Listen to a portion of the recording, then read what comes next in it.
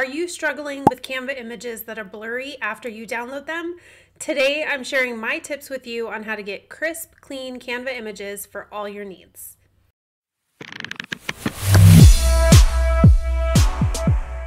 Today, we're going to talk about blurry Canva images and how to get crisp, clean images for all of your needs.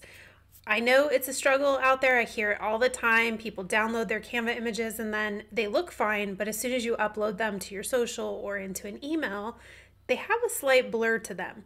They look a little bit off. So today I'm going to show you why that's happening and I'm going to show you how to fix it. So I've got three tools. Um, the first tool is 100% free. You don't even have to put your email in. The second tools are going to be Photoshop if you have that, along with Adobe Pro. Um, my two favorites really are going to be this free tool and Photoshop. If you have Photoshop, that's the best way to do it.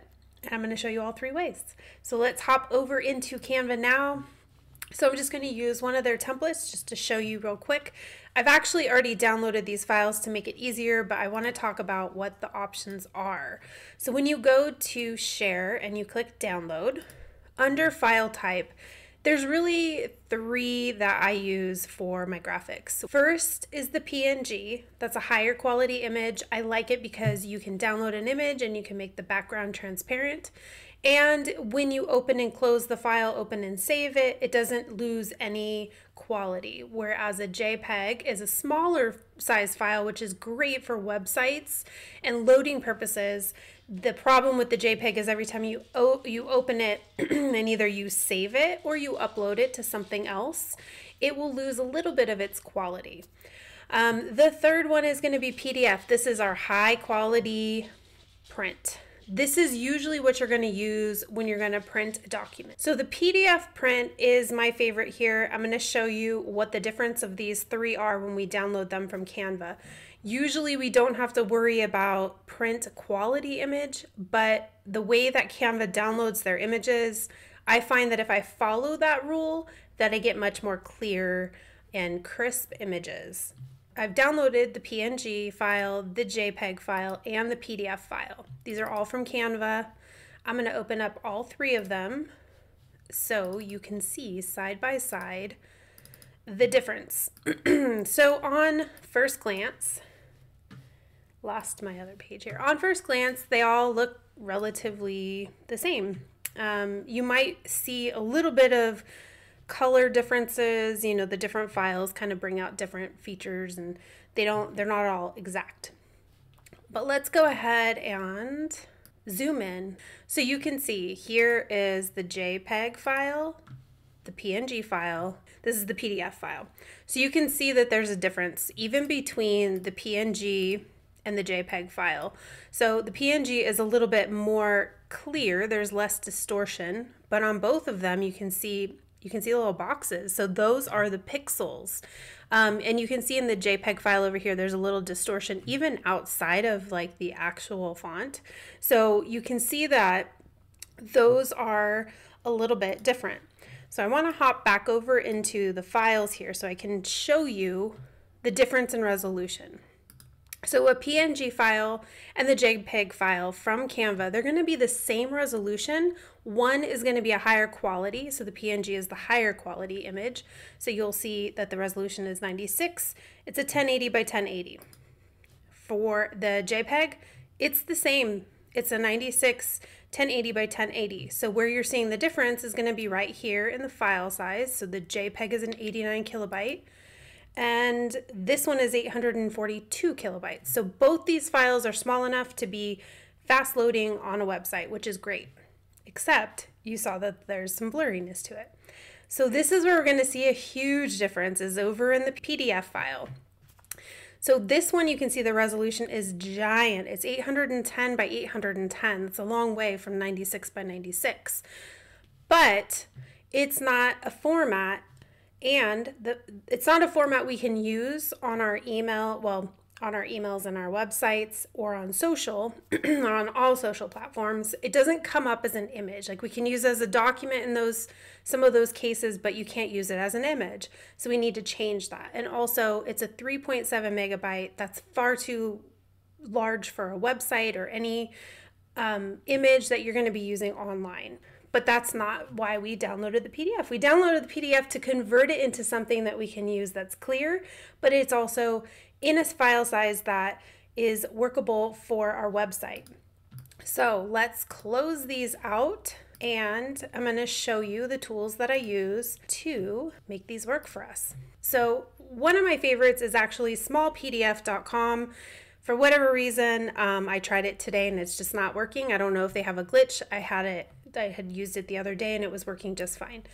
But this one's even better. I think in a sense, you don't even have to sign up for an account. You don't even have to put your email in. It is a PDF number two, jpg.net. So we're going to choose our PDF file. This is it right here. I'm going to convert it to a JPEG It's for it to download. It doesn't take very long. So then you're going to click download here and you get these ads, but you know, it's free. So not going to complain. Oh, I downloaded it twice. All right, so now let's go into our downloads and I'm to drop it into our file here. So this is the file that was converted. So now we're looking at a file with a resolution of 150 by 150, which is good. It's higher than those other two from Canva. And the file size is 166 kilobytes.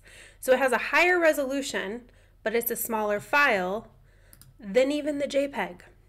So the JPEG is a, is a larger file, but the resolution is smaller.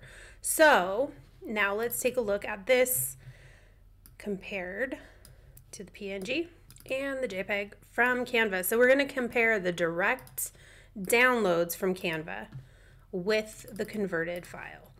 So we're going to zoom in. this might be a little too big. Oops, there we go. Okay, so now you can see this one on the left is the one we just converted from a PDF to a JPEG. It has the higher resolution and it's a smaller file size.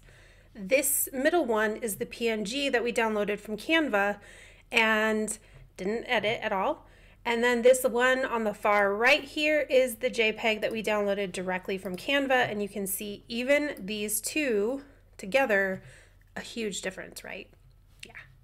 So that's my favorite free way of downloading or converting an image from a PDF into a JPEG that's going to work for your website. Now, I'm going to show you how to do it with Photoshop. So if you have Photoshop, this is my favorite. It's so easy. You're going to just open it in Photoshop. You're going to go to File. A couple different ways you can do it. You can do Save As or we can do an export. I'm just going to export because it's quick. You can do a quick PNG export. You can export as. We are going to export as JPEG. I'm going to do a very good quality here. And then I'm going to export it. Now I'm going to name it so we know. So let's hop back in here, open this up. Now I'm only going to open up the JPEGs because we know the difference between, you know, all of them but let's show you the difference between the Canva JPEG here on the right. In the middle, we are doing, this is the converted one. This is the one we converted with the website. And then this is the one that we converted with Photoshop. So scroll in five times. Woo, that one looks pretty clear to me. This is the one that we converted. So you're probably already seeing why Photoshop is definitely my favorite. But if you don't have Photoshop, I know it can be expensive. So, um, you know, if you don't have it, the free version is pretty darn good. It's definitely better than Canva. So this is Canva, this is our converted one, and then this is the one from Photoshop. So once you upload these, you're gonna see that they're very crisp and clear and you won't have that slight blur that you get when you download it and use it directly from Canva. So super easy. It doesn't take very long. I just wanted to show the different ways. The other way that you can do um, a conversion is if you do have the Adobe Pro.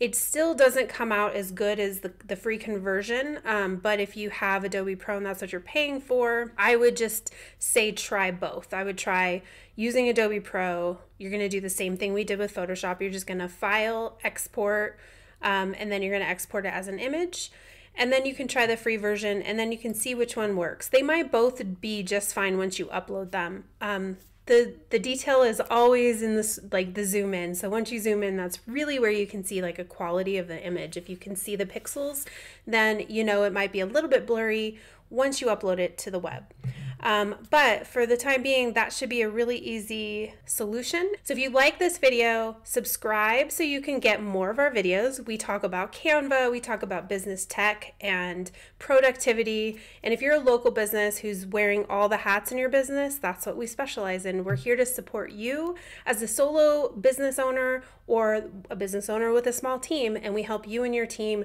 really hit the mark with your online marketing and help you grow your business using online marketing. I'll see you next time. Don't forget to subscribe to all of our future videos.